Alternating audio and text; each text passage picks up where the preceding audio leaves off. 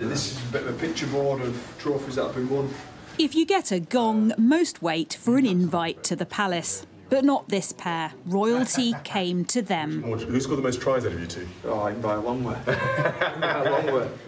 Two rugby league legends in the dressing room with Prince William and a personal presentation of their CBEs.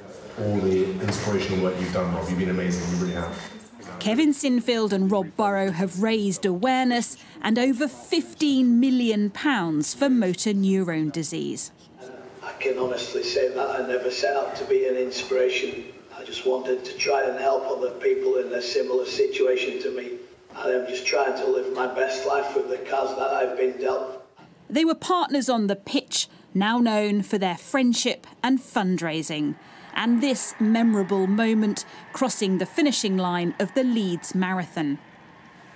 It's important that we show people we love and care about that we're willing to stand with them. And the best way of me doing that is through putting myself through a bit of pain and, and uh, doing a bit of running. Should they have been knighted? Some thought so. But this still meant a lot. Thank you very much. Such a really special day, and you know, a day that we'll, we'll treasure forever and um, remember as a family. They deserve a knighthood, but this is just such a huge privilege as well. So to receive this, you know, is, is such an honour. Oh, you're so sweet, guys. Thank you so much. Look, it's the book.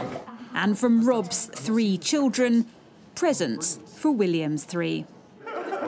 Who gets honoured can be controversial. But here, with their families, Rob and Kevin, rightful recipients. Laura Bundock, Sky News.